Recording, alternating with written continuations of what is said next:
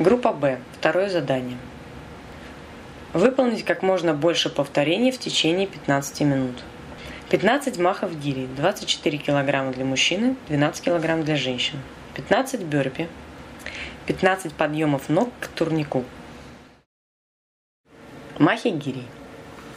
При выполнении махов гири необходимо поднять гирю над головой до полного распрямления в коленях, тазу, плечах и локтях. Тело гири должно быть направлено вверх. В нижней точке руки должны быть распрямлены. Не засчитывается движение, при котором в верхней точке локти или плечи не распрямлены. Не засчитывается движение, при котором в верхней точке тела гири направлено вперед или вниз. Не засчитывается движение, при котором в верхней точке коленные или тазобедренные суставы остаются согнуты. Бёрпи.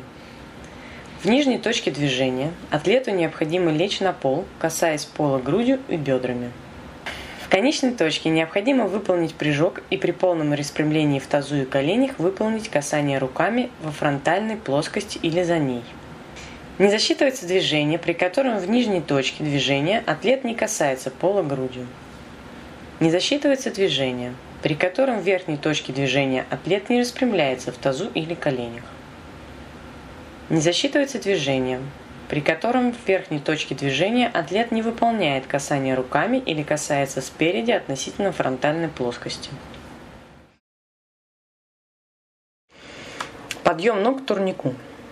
В исходном положении стопы атлета должны пересекаться вертикальной плоскостью, проходящей через ось турника.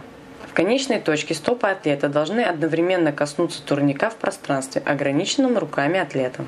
Допускается спрыгивать с турника после касания стопами перекладины. Не засчитывается движение, при котором в исходном положении стопы не пересекают фронтальную плоскость, проходящую через ось турника.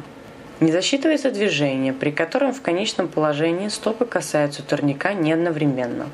Не засчитывается движение, при котором в конечном положении стопы не касаются турника. Не засчитывается движение, при котором в конечном положении стопы касаются турника снаружи от рук.